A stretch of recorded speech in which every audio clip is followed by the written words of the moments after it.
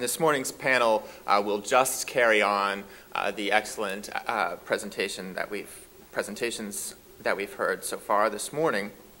Uh, before I introduce uh, the panel, I wanted to set up a little bit uh, what we're talking about, which is the emergency manager program and its potential for Detroit, and particularly how that relates to privatization of public services. Um, and so a lot of what we will hear on the panel this morning uh, will have to do with the ways that moving to a more hierarchical model could or would not make the financial governance of the city more efficient and how it might improve uh, the economy of the city. But as we're listening to this discussion, and, and, I take no position on whether that would or would not work as a matter of economics, it's also worth remembering that financial efficiency is one value, and it's a necessary one, but it's not the only value that we look for in urban governance. There are values that are sometimes more important than just building jobs or balancing a budget. I was talking recently with Lamar Lemmons, who is the president of the Detroit Public Schools Board of Education the Detroit Board, uh, Public Schools Board of Education has no power. They don't run any schools. Um, and I asked him why did he continue to meet with his board twice a month, essentially as a volunteer? What motivated him? And he said, you know, I, um, I wanted to make sure that I did something for my city because when Rosa Parks died, she lacked her full rights to vote she lacked the right to vote for how her schools would be run. And he took that personally. That, that message, that motivation is in a lot of people for various reasons, for their own personal reasons, that do not have to do with money. Mr. Lemmons didn't say, well, it really bothered me that Rosa Parks died when the school district had a deficit. Right. So we are going to hear today about a variety of ways that uh, the economics of emergency management could be improved or uh, different efficiencies that can be obtained from the move towards the more hierarchical model. And some of those uh, might or might not work. Uh, and there's no disputing that the financial emergency requires some kind of solution, and if there is a, if there is one out there, we should all be open to that. But as we listen, let's also keep in mind that there are these non-materialist values that even once we agree on some efficient solution to the financial situation, that doesn't mean it's necessarily the, the, the number one solution. Okay, let me now introduce the panelists. Uh, we have Dr. Eric Scorsone, he has extensive knowledge on emergency managers and participated in training emergency managers. Uh, he worked as the senior economist at the Michigan Senate Fiscal Agency in 2010, and he has returned to Michigan State University in 2011 as an extension specialist. Prior to returning to Michigan in 2005, uh, Dr. Scorsone developed award-winning extension programs as an ex assistant extension professor in the Department of Agricultural Economics at the University of Kentucky uh, in the areas of rural health economics and economic development. He also served as an economist for the Colorado Governor's Office of State Planning and Budget and as a senior economist for the city of Aurora, Colorado. He received his PhD in state and local public finance from Colorado State University. He received his master's degree from Michigan State University welcome anyway, and a BBA from Loyola University of Chicago. He has also worked on international development projects in Thailand, Macedonia, and Indonesia, and has taught at the University of Bologna, Italy, and University of Valencia, Spain, in public performance management. He has published uh, in State and Local Government Review, Growth and Change, Journal of Appalachian Studies, Economic Development Quarterly, Journal of Federal Studies, Public Money and Management, and International Review of Administrative Sciences. Dr. Scorse Dr. Scorsone is from Saginaw, Michigan, and currently resides in DeWitt. Uh, Michael Stampfler is an expert in city management. He served as the emergency manager in Pontiac and led efforts to restructure uh, the city departments there, reducing the annual deficit. Mr. Stampfler has also held positions as city manager in Talladega, Alabama, Casselberry, Florida, and Portage, Michigan. In Portage, Stampfler privatized water sewer utility operations, saving ratepayers $750,000 annually. Mr. Stampfler is the recipient of numerous awards, including the Distinguished Budget Award and Certificate of Achievement in Financial Reporting. He is currently the managing principal at his consulting firm, Civic Quest LLC. He holds a BA from Hope College and master's degrees in international studies and public relations from Western Michigan University. Uh, Dr. Linda, Linda Kaboolian is lecturer in public policy at the Kennedy School of Government at Harvard University. Her research and teaching focus on multi stakeholder problem solving processes around workplace and public policy issues. She works with labor, management, and community groups around improved organizational performance and service to diverse communities. She has a number of projects in public education and the water industry. Her new book, Win Win Labor Management Collaboration in Education, was published this year. She co authored Working Better Together, a practical guide for union leaders, elected officials, and managers, and The Concord Handbook, distilling several years of fieldwork about organizations that bridge racial, ethnic, and class divides. While she now serves as a neutral mediator, she was an elected officer and chief bargainer of a union and a senior manager in the federal government. She has also served in the state and local and nonprofit sectors. Dr. Kaboolian received her PhD from the University of Michigan. Councilmember Saunteel Jenkins was elected to Detroit City Council in November 2009 in her first attempt at elective office. Uh, Ms. Jenkins currently serves as chair of the Planning and Economic Development Committee and the City Council Rules Special Committee. She is also a trustee for the General Retirement System. Prior to her election to council in November 2009, she served as director of the residential treatment program at Mariners Inn, a shelter and treatment center for men who are homeless and drug addicted, but who are determined to, to put their lives back together and become contributing members of society. Ms. Jenkins also has worked at the street level as a social worker helping troubled youth and adults turn around their lives. Prior to her work at Mariners Inn, uh, Ms. Jenkins was a National Business Development Director for Platform Learning, a private education company that provides free tutoring to low income children in underperforming school districts.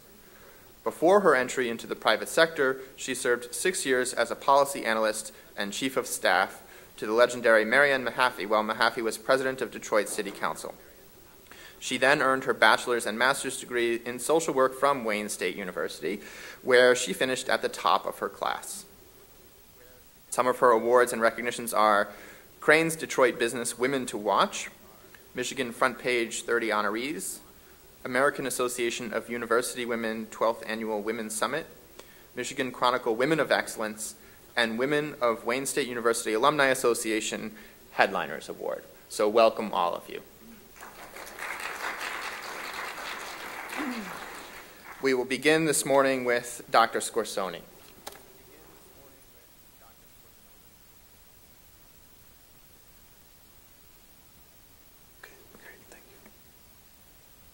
Good morning. Um, first of all, I'd like to echo Justin's comments. I think governance matters and that it is a value of equal importance to financial efficiency. Even though I will be talking about finances and financial efficiency, I've really spending my career kind of understanding the interrelationship between those values and, and how they affect each other. So I want to say that although I'm focusing on the finances, I think he's absolutely right that we have to look at both both sides, absolutely. Oops. All right, how do I advance? so, I think it's important to step back and say, you know, there's a lot of talk, there's a financial crisis in the city of Detroit, and not just the city of Detroit. There are many other cities in Michigan that face significant challenges. But really, what um, what does that really mean? And I think diving into it a little bit is important to understand the context because I think the solutions are going to depend on where we've been and and it's not you know really Detroit's issues go back actually you could really argue all the way back to the 1960s. Um, and I'm writing a book right now, um, a fiscal history of the Motor City, is really looking at the fact that it's the challenges are long seated. In fact, there was a report from Wayne State University in 1960 that predicted Detroit would face serious problems from its pension system, uh, and they really underestimated actually how significant it might be. And so there have been challenges all the way back. And, um, And I think that's important to understand as we look at what are the solutions. And really, I put this up here only because the basic equation matters that the tax revenue you can raise has to be enough to cover your costs. Now, that's different because the state government does channel how much tax revenue you can raise. There are property tax limitations, there are uh, limitations on income taxes. So it's not, a, you know, you can't just do whatever you want, at least by, you know, every state has different rules, of course. Federal and state aid, mandated spending, you know, what is mandated? That can be maybe debated, but um, and then other revenues. And so really you have to balance these things. And to simplify it, the available revenue and your reserves, you know, your checking and savings account, have to be enough to cover what you need to spend. You know, in that sense, it isn't that different from a household. Um, it is different. The federal government, I want to say, is different because it prints money. And, you know, city governments uh, they did try and do some of that actually in the Depression, but, but now we don't generally do that. Um, and, and that a fiscal crisis that we're talking about right now, which is an immediate cash crisis of, you know, you're going to run out of money, how are you going to pay the bills? Um, we, we shouldn't be only focused on that because Detroit and many other cities, Flint, another one I'm working in, face long-term problems. Even if we fix the problem today, the problems are continuing to compound themselves over time. So you have to look at short and long term to really fix the problem. And I would argue the financial control boards of New York and Washington and Philadelphia did not do that. In fact, there's very clear evidence. that The Financial Control Board of New York just scolded Mayor Bloomberg, in fact, because he took money out of the uh, retirement health care accounts to balance the budget. And, and so, you know, those processes may work for short term, but we still haven't found the real solution for chronic stress. So as I said, you know, there is an acute fiscal stress, and of course you have to address it, because if you can't pay your bills, um, then, then some significant consequences may occur. Um, that's not to deny that reality, but it's also to recognize that we have to look at the long term as well. What causes stress? Um, and, and this is, you know, there's a very long literature all the way back to when New York City was in trouble in 75 that started building here. There, there are external conditions that occur.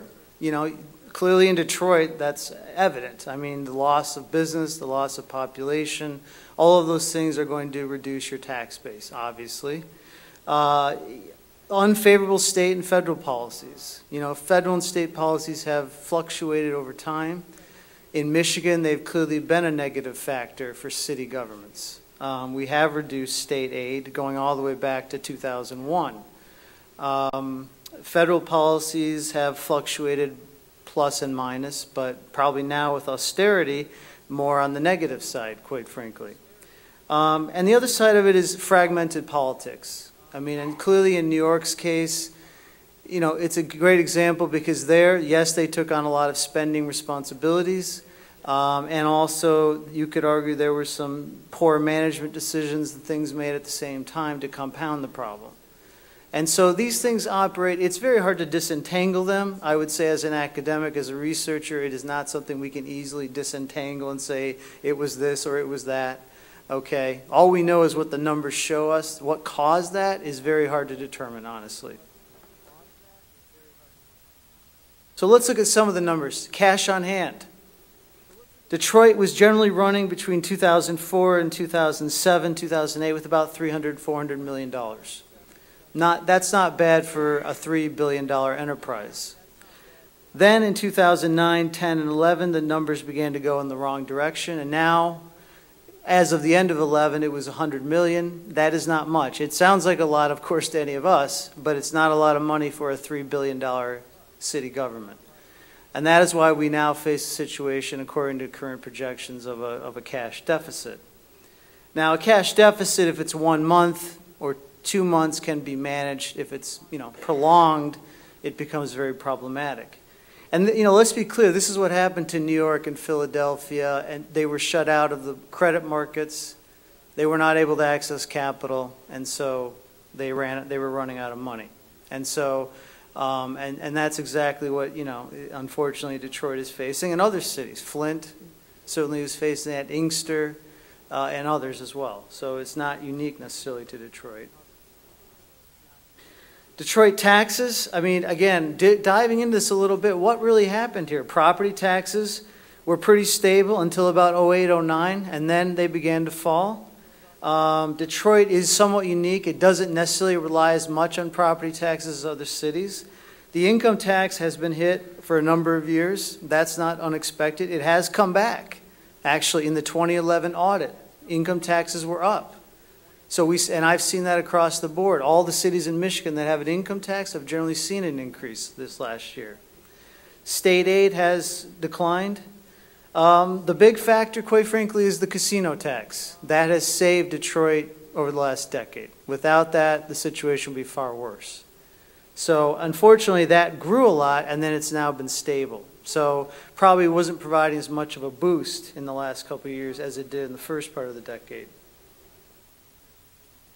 I apologize, it might be a bit hard to read here, but basically, spending has exceeded revenues for the last six, seven years. I mean, that's the bottom line. That's why the cash is, is almost gone. You can only do this for so long with your reserves. And this, if you total out these deficits, it's about $500 million. So you burned, you know, the equivalent of close to $500 million in cash. Okay. Um, the cash on hand I reported was truly just cash. There are investments that can be transferred into cash. So the, you have to be careful in comparing that. But, you know, that's essentially what happened. They burned through $500 million over the last six years. Spending has come down in Detroit, but not fast enough, unfortunately. The revenues declined faster than spending. Detroit also engaged in some financial transactions, pension obligation bonds, and you can argue the merit of doing that kind of thing, but it converted what was one kind of cost into a fixed debt cost. And that's, that, so the spending went down, but it popped up somewhere else, and debt service, for example. Um, and so unfortunately, that has been the reality. Spending has not been able to be addressed at the same reduced rate as revenues. And spending is a fixed cost in many ways. As I said, mandated spending. Pensions, you must pay.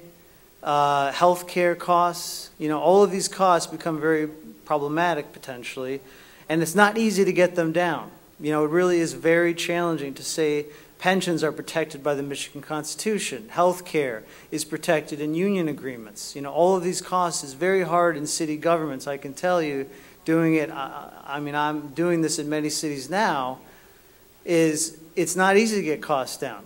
You know, you can cut, you know, well, we won't buy as much. Well, that's fine, but there's only so much of that you can do. Okay, and there, there are limits. And that is, that is challenging in this environment then. Uh, beyond the cash, though, there's we use a, in government accounting net assets. This includes all of your total long-term liabilities, your pensions, your retiree health care, although I will say this only includes what has accumulated in retiree health care obligations. It is not the, the full 30-year obligation, which is over 5 billion.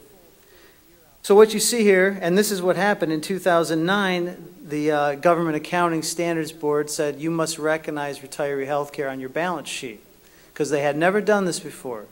And so basically governments made decisions about retiree health care with no impact on the balance sheet whatsoever. They did not know what it was costing them to do this until 2008. So you can see what happened. Net assets dropped dramatically because there's a new big liability on your balance sheet.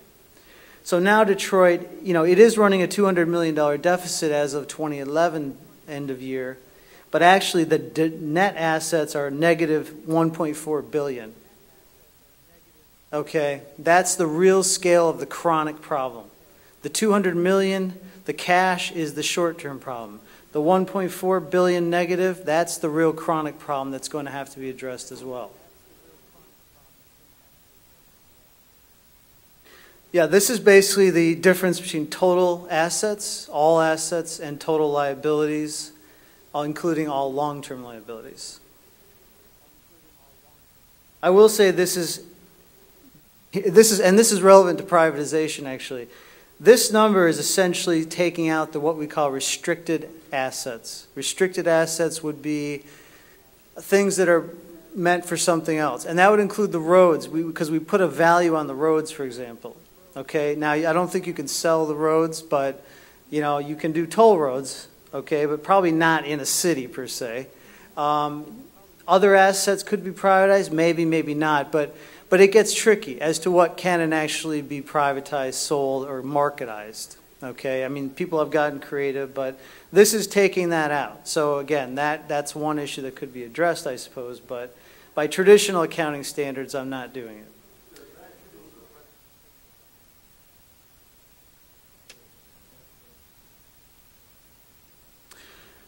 Only partly, because that only includes about uh, 500 million of it. It's actually the total 30-year liability is 5 billion.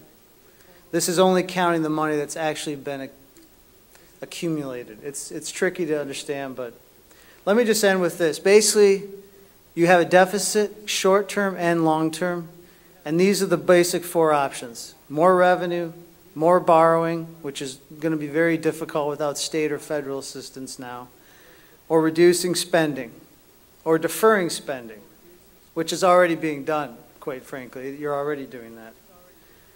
And I will just say that with the Financial Control Board idea, again, I have not seen these address chronic fiscal stress, only acute fiscal stress. And so that, that can be a real problem if these mechanisms are put in place. Are, are we going to be able to address short and long term? Thank you.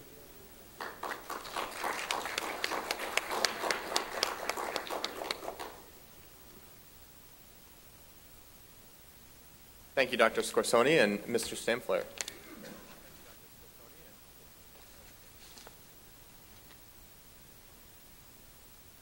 Thank you very much. I uh, had the opportunity as a practitioner to um, work in sort of the opposite end from maybe Dr. Scorsone in some of these aspects because actually the job was given to me to try to help Pontiac through Public Act 72 and then Public Act 4. So I served as uh, what's known as maybe the receiver now, uh, the emergency manager for some 14 months. And I would say that the overall impression that I would like to leave people with here today is that really Public Act 4 does not work. And I think it is a fallacy that we have, and for some of the same reasons maybe Dr. Scorsone indicated, it really does not address the long-term situation.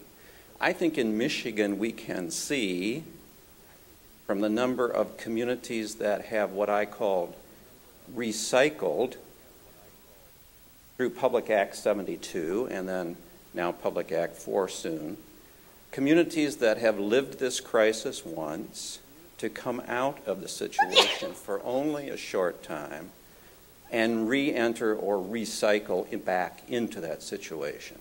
And we know the communities, Ecorse, uh, many of the communities, Flint, they're all sort of teetering on the same situation over and over and over again. And I see nothing from practical experience that allows that cycle to be changed.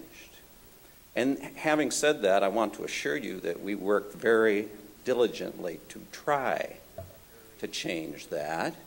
But there are only so many cuts and only so much revenue reduction, expenditure reduction rather, that can be done. That's not the whole part of the equation. And I would argue, one of the other impressions that I want to leave with you is that actually the system that we're working under right now, I think, does more to damage civic capital which is the capacity for governance within the community.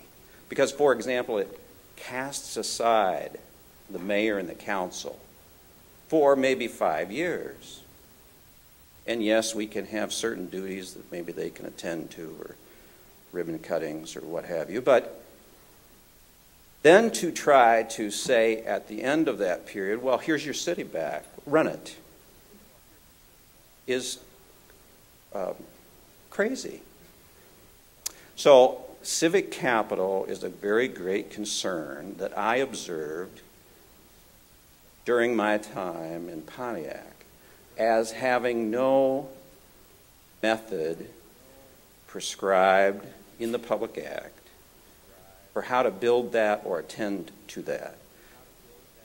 The, most of the nomenclature and the particulars in the Act refer always to this financial drive to get revenues and expenses back in order. And it's virtually impossible to do that under the current situation. And so you end up really, I think, causing a great deal of damage. And again, furthering this possibility of recycling. So, in common parlance, I think it amounts to kicking the can down the road. So, just one other impression. Privatization. I have used privatization in many communities during my career. But what it starts out as, I think, privatization can work if you're really rather sophisticated, I think, about the oversight management abilities and so on that you're going to create. You're going to improve those abilities through this privatization. But let us not kid ourselves. Private operations fail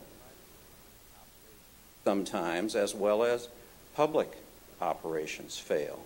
So the same situations that are in effect when a public organization is running, for example, a water sewer utility, if they're not watching the store and problems are created, when it's privatized, if no one's watching them, the same problems can happen. And we have to be very wary of that. So the ownership of a utility, whether it's publicly operated or privately, done has to be very closely guarded and watched. There's no mechanism in Public Act 4 to create that sort of watchfulness or that management oversight. There's no improvement from when the locals are doing it to privatizing it. And indeed, everything done during this period of management or of emergency management can be undone. So I really believe that it's very difficult to look for improvements in these kind of distressed communities with no change in the civic structure or the organizational structure that's really going to allow that to happen. I would also leave an impression that in many cases, I think that the federal operations are very much at cross purposes with what has to happen in these essentially distressed communities. And I look at the very, uh, just as a basic, HUD policies, which are developed from the 1970s, are still being played out today after all the different change in landscape, and particularly in these financially distressed communities, they're still applying the same rules with billions of dollars behind it, and it really hurts. It hurts the communities. There needs to be some pliability and recognition that the situation is very different in certain communities. And what works in Ann Arbor or Kalamazoo or wherever may not be the ticket for a community that's already down on its knees. There are maybe different ways that the money needs to be spent to help, in concert with the state, build that community back. And that's not being done. And there's no nothing on the horizon you know, I wrote to the uh, Secretary of HUD and begged him, for example, to change certain aspects so that we in that city, Pontiac, could address more specific difficulties occurring in that community. And that was in vain. But there are other policies of that nature too. So my time is nearly up, but I would just say those are my impressions from practitioner in the street. Uh, one could say it's a very great a rude awakening, perhaps, for a practitioner, but I think the other thing is that it, the only impressions that I really have are ones that the, the overall failure of this is very difficult to see how it will change without huge changes in the legislation that we have. Thank you very much.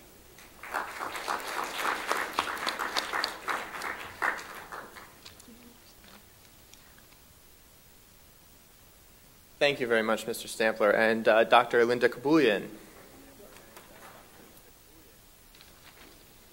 Well, I think I know what the headline is going to be um, after that presentation.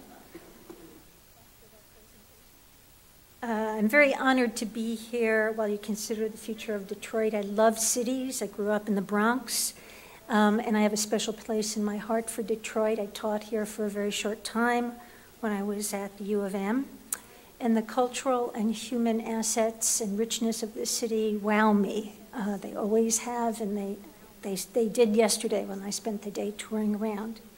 Now, I suspect I was invited to uh, speak here because I wrote things like these two booklets, which I'm not pushing, um, but they are free on my website, and I'll give you my website at the end of my presentation. Oh, in fact, that reminds me, I should um, pull up my my little PowerPoint. Do you have a little mouse? Ah, we have a little mouse, right. Sorry about that. I'm doing this so that I can pull up the PowerPoint.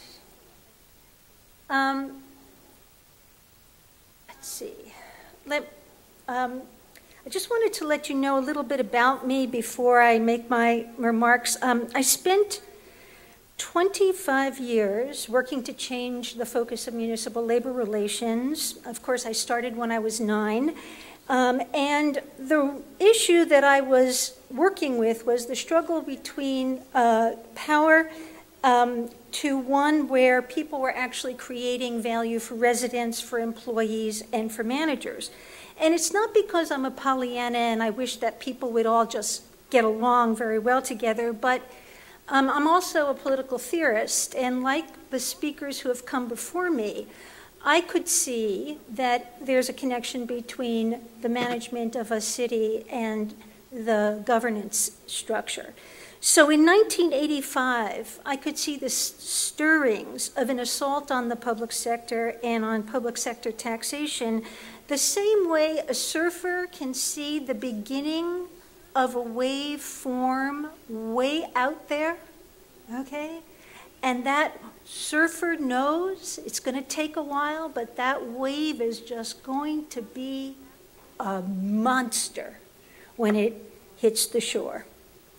Well, the perfect wave has hit a number of cities, um, and Detroit is one of the ones that's been inundated by it. But the question is, first what created the tsunami. And I think it's really important to remember that this uh, table up here tells you why it is um, there has been a reduction in the amount of taxation going from the state to the city, um, as the first speaker said.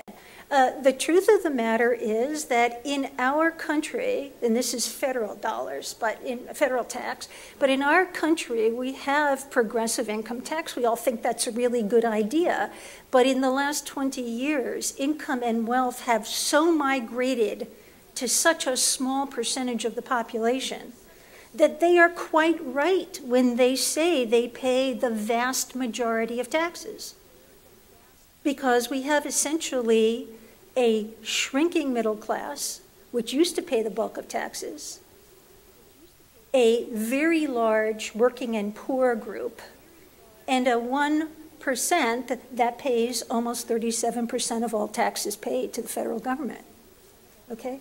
But if you take a look at the top 10%, okay, people making over $112,000 a year, which is not great riches, right? I would say probably a tenured U of M faculty member is approaching that in some fields, but certainly in economics. They pay that top 10%, 70% of all taxes to the federal government.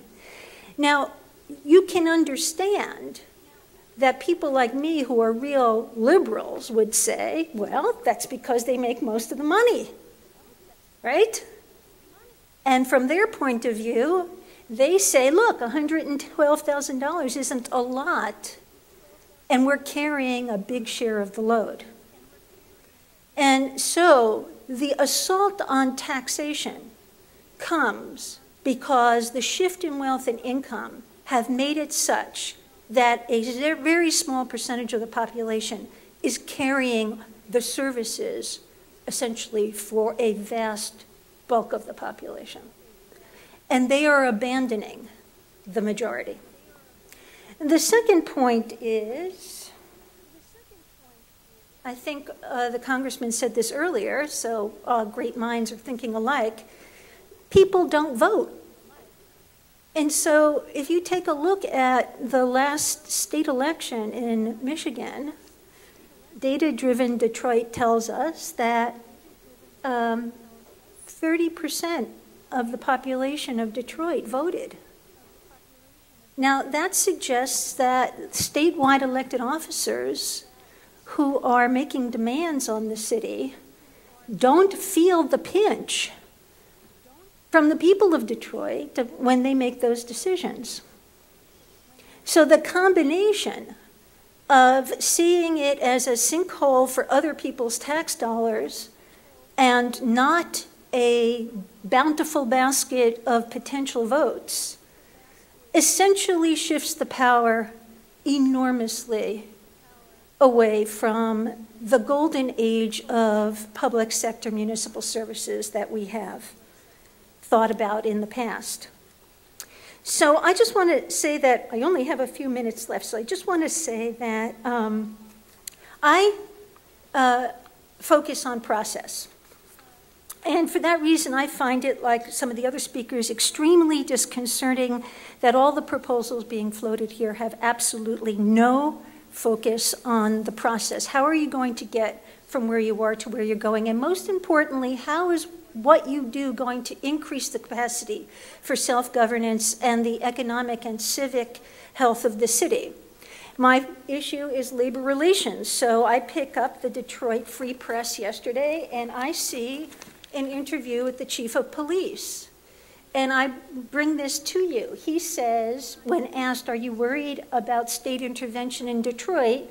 I worry about it from the standpoint of how contractual changes imposed without negotiations would affect the morale of officers who actually do the work on the streets. And here's the next and important point the unions have been tremendous in coming to the table and coming up with tentative agreements. They came as partners, and morale is a big part of what they do. Okay? So I'm not talking about let's kumbaya, get together, and feel good. I'm saying that in order to create value from the working relationships that you have, the institutional relations of the labor unions and the people who do the work, both um, the hourly employees who are represented and the managers have to be part of the process of redesigning how that value is going to get cre- created. Right? And it has to be something more than simply suspension of collective bargaining agreements. I'd like to suggest that in the many other cities I've worked in, Philadelphia under the Rendell administration, in Providence, Rhode Island, in many water districts um, that I try to help stay public. The important issue that I learned is that the international unions are very familiar with this issue and have a lot of expertise in helping to craft collaborative processes to keep services public and to keep public employees on the job. It is in their interest to have a revenue stream that keeps their members at work. And they are very realistic about how to do it. I would say that local politics may have made people feel that this is impossible, but I can tell you that the international unions can support their local leadership in making sure that this can get done. Very quickly, let me tell you if you're interested in the free books, oh, this is, seems to me to be where we are, right? As long as we have each other, we'll never run out of problems, right? Um, um, if you Google my name, the first, um, if you Google my name, the first uh, uh, result will be um, a link to my webpage. Uh, the second result will be uh, a list of these publications. These are all free. The first one is Working Better Together How Public Sector Union Officers, Managers, and Elected Officials can create value for the public sector by working together. The second one is a list of projects that we did to create public savings, improve the quality of services in a whole bunch of cities and counties around the United States. So if anybody needs any evidence that it can be done, um, they are there. I, I just want to say that um, Jimi Hendrix said that knowledge speaks, but wisdom listens. Okay, so I think that in the course of this day, there have been a lot of knowledgeable speakers coming. I really hope that those words will fall on the wise of Detroit because I know that they're out there to demand not just the money and not just the power, but the process that is going to help, help deliver a city that embodies the values that people here so dearly care about. Thank you very much.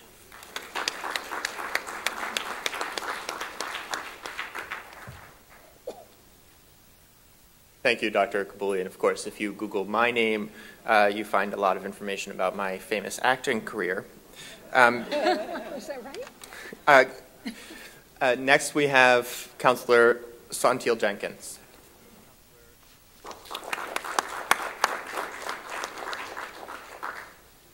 Excuse me.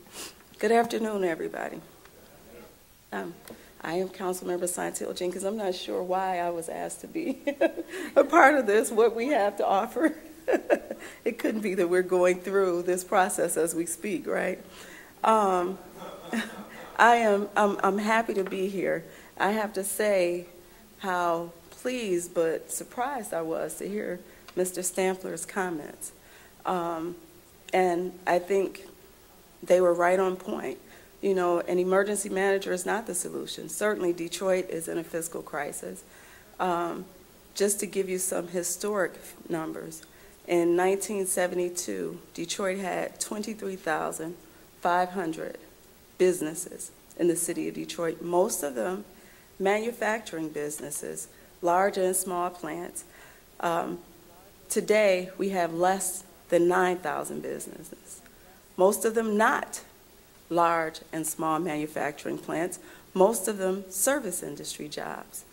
We all know that service industry jobs pay much less than manufacturing jobs. And I wanted to start with that point to highlight what has already been said. This problem didn't start yesterday. It didn't start two years ago or four years ago. This didn't start with Kwame Kilpatrick or Dennis Archer.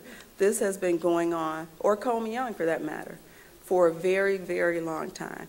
And just like we didn't get to this point overnight, we won't fix it overnight, whether we have a mayor and city council or an emergency manager. Because the problems are much more complex than we're being led to believe.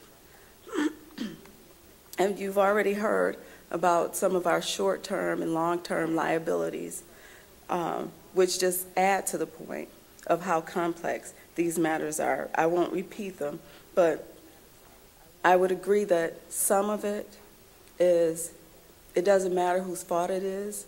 As an elected official, it's my responsibility. You know, as the mayor, as city council, it's our responsibility, regardless of whether it started in 2012, 1972, or 1872. It's our responsibility to fix it. I won't dispute that the city, our labor costs are through the roof. We have to find a way to bring our labor costs in line. And that's not because we're paying workers, you know, a million dollars. That's certainly not the reason. You know, people who work for the city of Detroit are not getting rich, no matter what your title or position is. What we do have that is very rich is a health care plan and a pension plan that we have not, where we have not kept up with our revenues. Right now, our labor costs, our, our, I'm sorry, our benefits costs are 108% of salary. 108% of salary.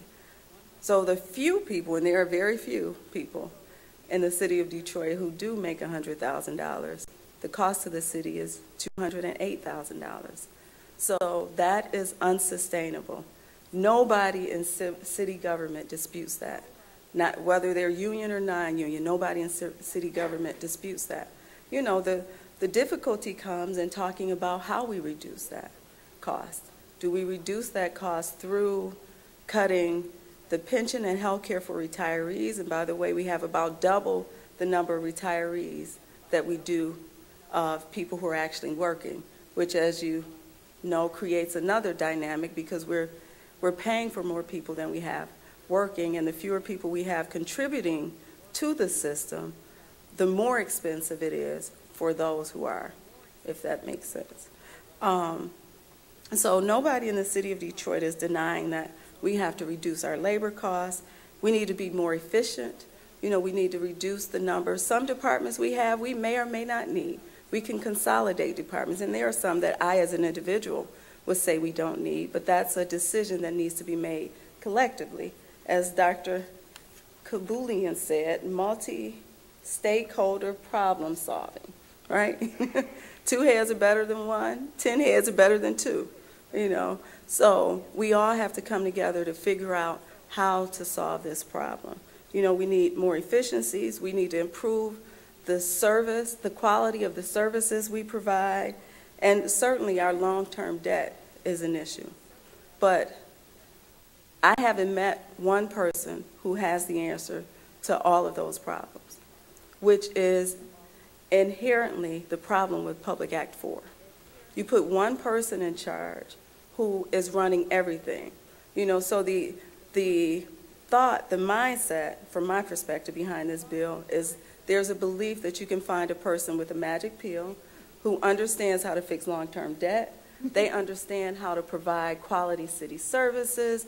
They understand labor and labor, I was going to say labor negotiations, but they don't need to understand negotiations because they have the power to eliminate any collective bargaining agreements. But the thought behind Public Act 4 is if there's one man, one single line of accountability, then we can fix it.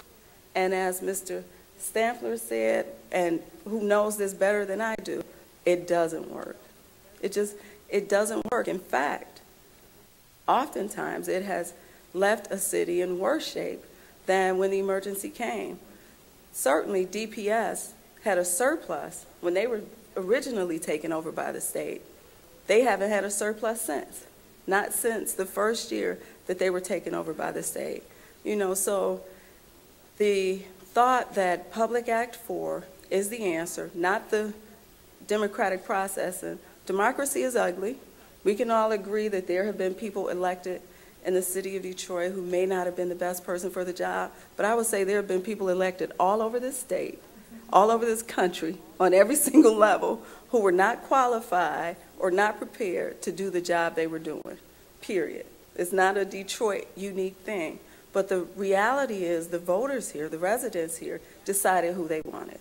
You know, when they're tired of people, they'll get rid of them. That's why we live in a democracy. And throwing out the democratic process, eliminating people's ability to decide who will make decisions for them, good and bad, who will make decisions for them, is not the American way. So, Public Act 4, some of the things that it allows for. Um, an emergency manager is authorized to reject, modify, or terminate the terms of an existing contract or a, or a collective bargaining agreement. And once again, as the good doctor said, if the people working for the city of Detroit don't feel good about what they're doing, then what do you think the quality of the services will be? They won't be very good. So, and I, and I think there are some things in our collective bargaining agreements that we certainly have to change. We, we have to, you know, but it's got to be both sides. Some of the things that I've seen in our contracts, I look at it and I say, what? Was the city negotiator asleep? I don't understand. But the, the unions gave something up to get whatever that was. So it's still got to be a back and forth, a negotiation. The unions are at the table. We have some tentative uh, collective bargaining agreements on the table right now, and we're working through this. We're working through it. what we need from the state and what every city in financial distress across the state needs is for state government to work with us. Not to come in and tell us what to do. We need them to work with us. We need for the state, as the state treasurer has done, to acknowledge that they're part of the problem. In 2001, the city of Detroit got about $360 million in state revenue sharing from the state of Michigan, 2001. Last year, we got about 140 million. Now, we entered an agreement in the 90s that said we won't increase our taxes as long as you continue to provide us with state revenue sharing. Well, we've lived up to our end of that agreement because we had to. The state law didn't change for us. However, the legislators decided, well, you know, it's tight in Lansing, so instead of us tightening up our belts, we'll just reduce the amount of money we're sending to Detroit and to cities all over the state. Detroit just, we got the biggest hit. So we went from 360 million to about 140 million. Our expenses didn't decrease, only the amount of revenue sharing. Our revenues didn't increase. Our biggest revenue pot certainly didn't increase because our hands are tied by the state. We can't increase our taxes. So, state, you are certainly culpable in the situation that we face today. And again, I started with we have our problems, we're working on that, but they weren't caused just by Detroiters. So now, state, who, based on Public Act 4, when it was passed, was also financially distressed, you know, and through some miracle, they happened to find hundreds of millions of dollars. But they had a deficit when Public Act 4 was passed. And they met almost every single criteria in the bill. I guarantee you, nobody would have supported the federal government coming in to take over the state of Michigan.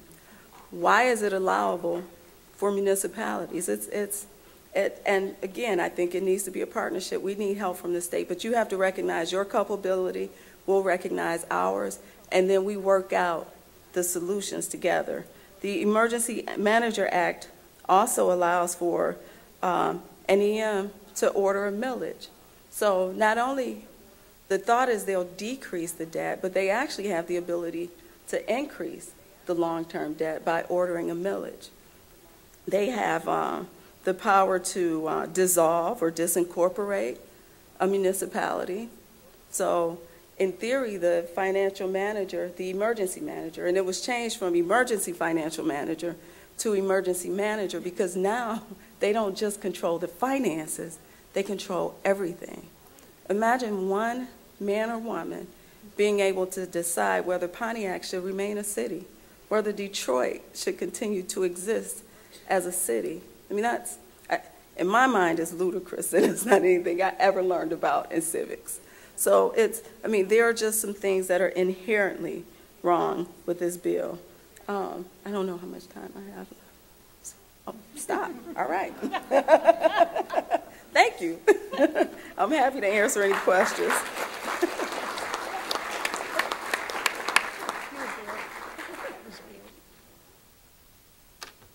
Thank you very much to all of our panelists for your uh, different and yet in, in many ways convergent perspectives on this important problem.